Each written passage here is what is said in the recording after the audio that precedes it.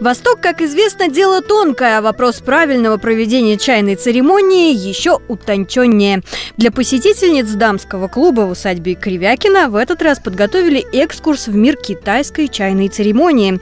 Медитативное действо для всех провела экскурсовод и любитель восточной культуры, которая приехала для этого специально из Коломны. Чайная церемония – это удивительный процесс, когда мы имеем возможность э, прочувствовать не только ароматный напиток, но еще и что-то новое узнать о себе.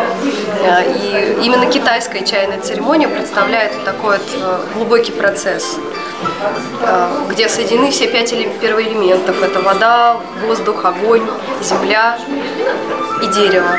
Сегодня мы попробуем чай, который доставлен прямиком из Китая, нами отобран, специально мной отобран для чайной церемонии. А это будет тигуанинь осеннего сбора. А, и этот чай э, действительно позволит нам ощутить, ну, наверное, не осень все-таки, а весну, потому что он обладает цветочным ароматом. Ну что же, а теперь мы, э, опустив чай в чайничек, прольем его горячей водой. То есть не заварим, а именно довольно быстрым движением прольем. То есть согреем и ярче раскроем его аромат. И эту первую заварку пить мы не станем.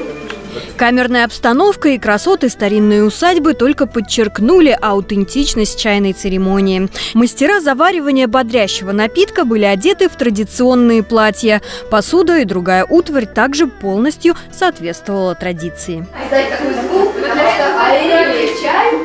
Кроме проведения самой церемонии, присутствующих ознакомились с историей употребления чая в России. Интересно, что подобные тематические вечера в усадьбе проводятся ежемесячно и бесплатно. Для каждой встречи выбирается новая тема. Так что если вы задаетесь вопросом, как с пользой и познавательно провести вечер, то культурный центр к вашим услугам. Правда, сотрудники предупреждают, что записываться на такие встречи надо заранее из-за большого количества желающих принять участие. Татьяна Колганова, новости Искровект.